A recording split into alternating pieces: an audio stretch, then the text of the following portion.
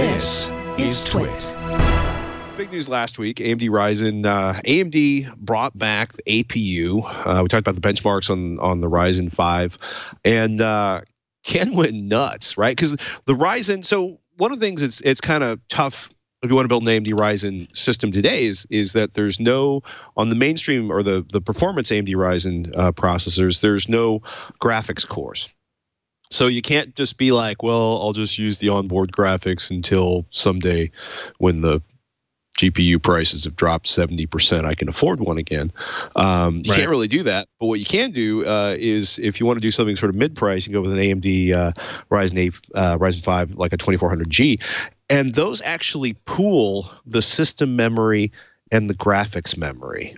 So Ken's question is it worth the money to upgrade to faster RAM? Because of course RAM has gotten more expensive in the last 18 months. Is it worth the additional VIG, the additional charge to move to faster RAM? Is there a definite performance uh, uh, reward to that? Yeah. And what was uh, what was Ken's findings?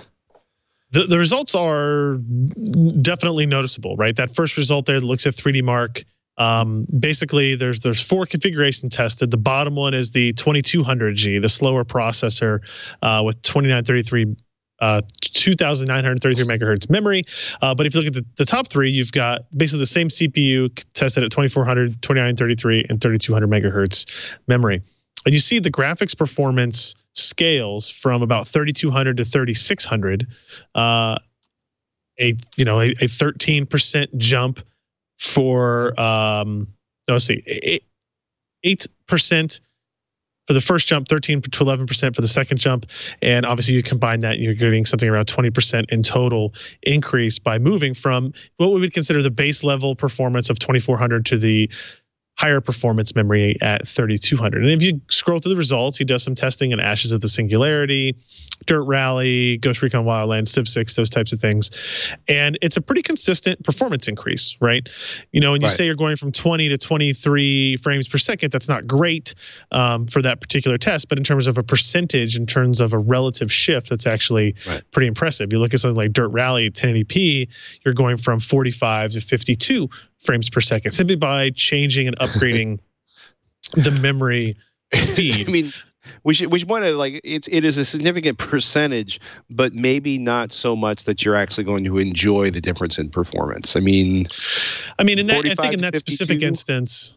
Right. In that specific instance, you may, you know, like the 20, the 20 frames per second uh, example, you would probably lower your image quality set, uh, settings a little bit more to get into a more playable state, obviously.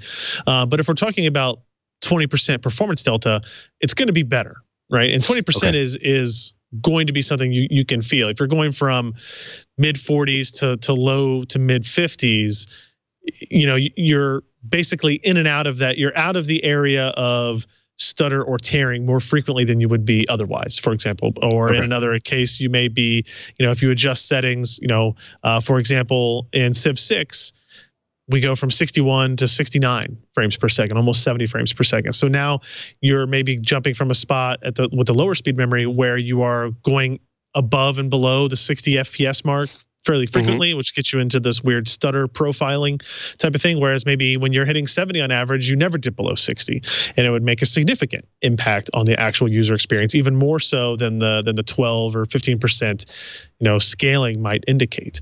So there's a lot of other things that that go into play in there. The other data point that that uh, that we ran through was single channel versus dual channel. Mm-hmm. This was interesting just from uh, uh, an educational standpoint. If you look, the those top two metrics, that's the 2400G processor running with a single DIMM of memory versus the same processor running with two DIMMs. and you can see the the score drops from 3600 to 2200 when you take out that DIMM. Now, for for a DIY, for an enthusiast, a desktop machine. Um, it's unlikely that we would see anybody do that. But if you remember mm-hmm. back into the long, long days ago of 2017, where people were building budget PCs, there was often discussion about using a single DIMM instead of two DIMMs. Right. In order to well, save Hardware money. Secrets. I mean, it's a couple years old now, but Hardware Secrets did a really interesting, pretty deep dive into looking at dual channel memory and if it actually made a difference in gaming performance. Um, and in, you know, in, in that since it really didn't do a lot. Now, of course, that's two years ago. Um, you know, they and they actually found quote in some cases there was actually a performance drop when the dual channel mode was enabled. Um, you know, uh, it was, yeah. it, you know, it, it was interesting to see, like, because you always think, like, you know, dual channels, like, got to have all that bandwidth. And um, sometimes it doesn't this, impact it, but in this case, it did. Yeah, and this behavior is more unique to the uh, AMD side of things, especially when right. you look at integrated graphics, right? So the integrated graphics on an AMD processor greatly changes performance profile from mm-hmm. single channel to, to dual channel or even memory frequency as we see here in the story as well intel's integrated graphics does not scale in the same way it just doesn't um, they just have a different bottleneck on their internal systems compared to what amd could do you know um, so you know the the interesting thing when you brought up pricing at the beginning is memory is expensive no matter what speed right. you're looking at you know when we were first doing our testing of the 2400g there was a noticeable difference in performance between or noticeable difference in price between the 2400 and uh, 3200 megahertz memory however mm-hmm. i think as we published this story it was down to maybe 20 or 30 dollars difference between getting right. uh, 8 or 16 gigs of 2400 versus 3200 and if that's the case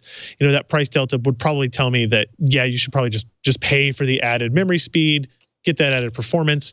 Although uh, even all that being said the idea of paying $180 for memory for a $180 processor to then use integrated graphics seems off-putting but only because prices in general are just so high. There's no alternative for this right. platform um, there's nothing anybody, AMD or any other consumer, would be able to do about it until one day in the magical future when memory prices don't suck so much.